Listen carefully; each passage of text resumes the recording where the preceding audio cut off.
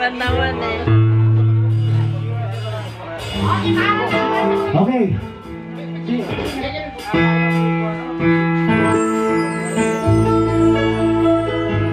Ah, Akala ko sa tatlong dilag uh, from Maynila, dumayo pa dito para makita ang mga DML group